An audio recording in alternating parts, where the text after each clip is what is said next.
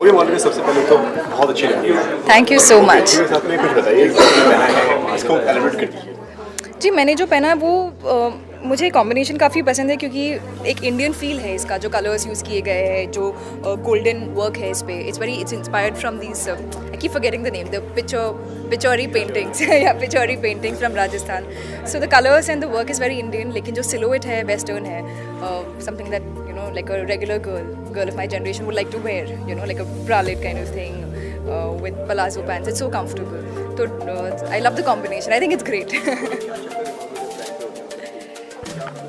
अरे ये रैम तो बहुत स्लिपरी था यार. I was like no no I can't fall नहीं नहीं ये वाला थोड़ा स्लिपरी था या शायद मेरे जूते स्लिपरी थे लेकिन या so my focus was like do not fall do not fall internet पे मीम्स बनेगा.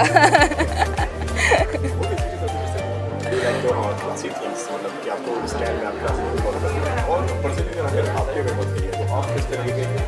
तो फॉलो करते हो सभी फॉलो करते आई थिंक फ़ैशन और कंफर्ट का एक कॉम्बिनेशन पसंद है। I don't believe in wearing things like I can't go out for two three hours wearing something I am extremely uncomfortable तो मुझे I like the balance you know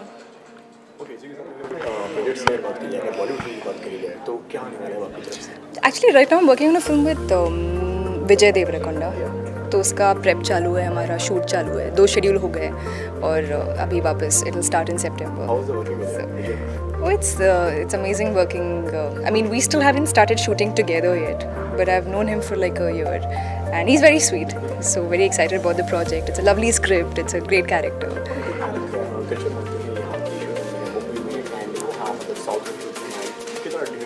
her industry में वो कल्चर थोड़ा अलग होता है यू नो हर इंडस्ट्री को what, what do I call it? It has its own way of how things work. But it's but that's the fun part, you know. Like one day I'm working uh, on a film with Rajnikant, then I'm you know jumping to like uh, a film with Ishan Khattar, then I'm working with Vijay Devarakonda in a Telugu film. So that it's it's it's I think it's a lot of fun because culturally it's so different.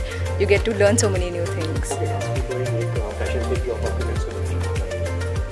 Um, have like don't blindly follow fashion. This is a common one, but still, you know, it's true. Don't blindly follow it. Have your own personality. Just stick to things you like. Thank you.